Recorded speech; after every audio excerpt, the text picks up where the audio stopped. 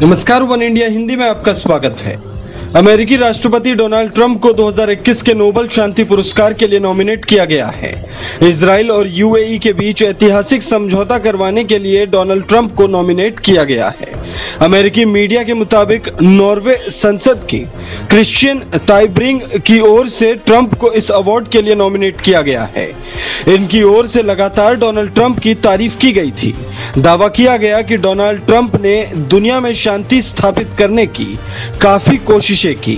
Fox news के मुताबिक tie bring ने कहा कि डोनाल्ड ट्रंप ने दो देशों के बीच चली आ रही लंबी दुश्मनी को खत्म करवाया है, जो किसी भी तरह के शांति पुरस्कार के लिए काफ़ी है।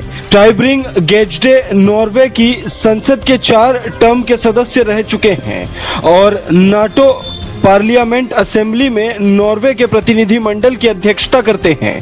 उन्होंने यूएई और इसराइल के बीच बेहतर संबंधों की स्थापना में महत्वपूर्ण भूमिका निभाने के लिए ट्रंप को श्रेय दिया।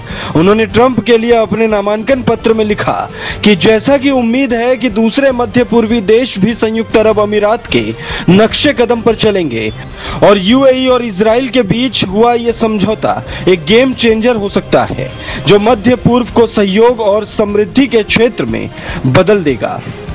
बकौल टाइब्रिंग गेजडे, मुझे लगता है कि उन्होंने नोबेल शांति पुरस्कार के लिए नामित दूसरों की तुलना में राष्ट्रों के बीच शांति बनाने की ज़्यादा से ज़्यादा कोशिश की है।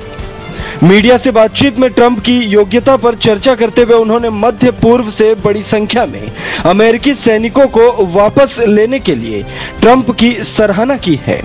इस खबर में फ़िलहाल इतना ही। तमाम अपडेट्स के लिए बने रहिए वन इंडिया के साथ।